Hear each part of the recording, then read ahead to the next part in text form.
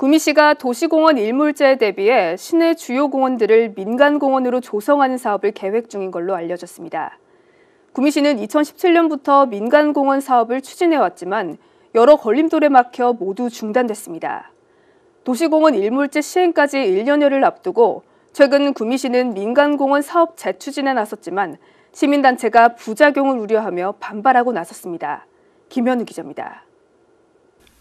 구미시가 도시공원 일몰제 시행으로 민간공원 조성 사업으로 추진 중인 공원들입니다.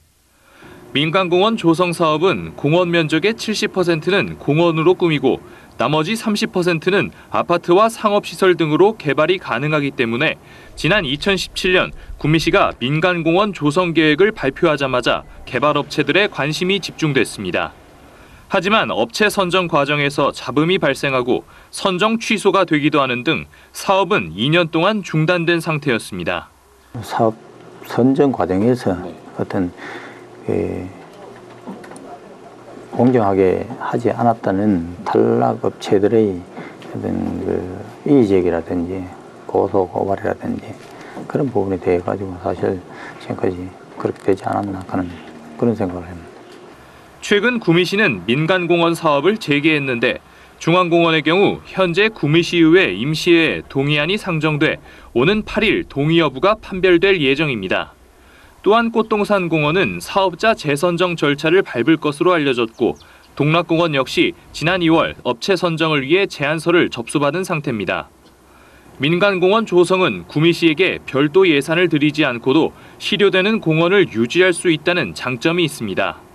구미시 재정을 한 번도 투자를 하지 않고 그 70% 전체 공원 면적의 70%라는 전체 공원이 저희들한테 그 무료로 이제 새로 이제 조성이 돼가 들어오니까 그 부분에 대해서는 그 지방자치단체로 봐서는 굉장한 그 수익이라고 볼 수 있습니다. 그러나 구미경실련 등 시민단체들은 민간공원 조성에 대한 부작용을 우려하며 최근 민간공원 저지 성명서를 발표했습니다. 인구가 줄어드는 마당에 8천 가구 아파트를 새로 짓는다는 것은 이것은 이 도시 전체에 아파트 가격을 폭락시킬 뿐만 아니고 도시 공동화를 초래한다고 봅니다.